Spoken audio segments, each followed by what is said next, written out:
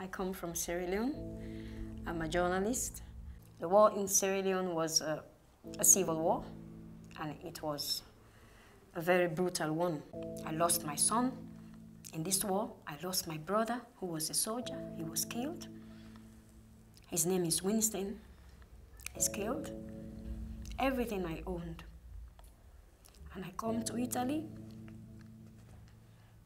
It's like have nothing.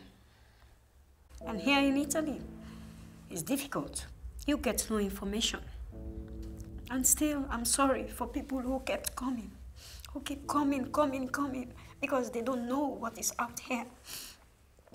They don't know. I don't even know what is going on with my family back home. I was the breadwinner.